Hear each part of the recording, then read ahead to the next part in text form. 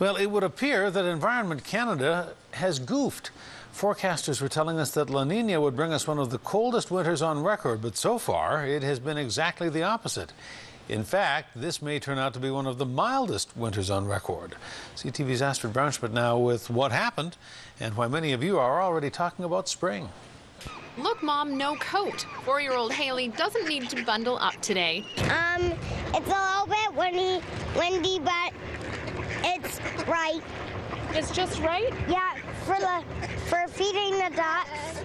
The geese like this weather too. What do you think of the mild winter? Mm-hmm. This mild, sunny start to February has people optimistic that spring is just around the corner.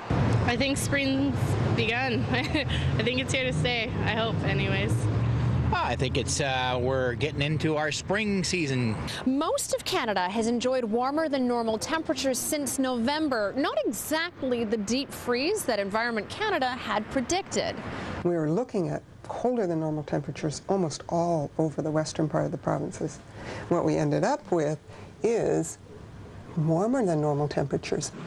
No, La Nina didn't deliver a nasty winter. It changes the odds of having a colder or warmer than normal winter, but it's not a guarantee.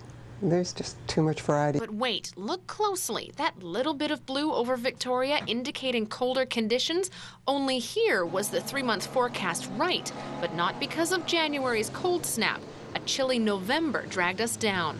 To try and forecast something for three months in advance is it's difficult. Even so, we ask, what's next? Tomorrow, we'll see what the groundhog has to say. Oh, he'll see a shadow. Does that mean it goes on longer? Yeah. For February, March, and April, I think that there will be below zero temperatures at some point in there. I think that there's going to be days when we're going to be out there in shirt sleeves, digging in the garden. It's just ducky, isn't it? Which is why we love living here. You like living here? Mm-hmm. Right.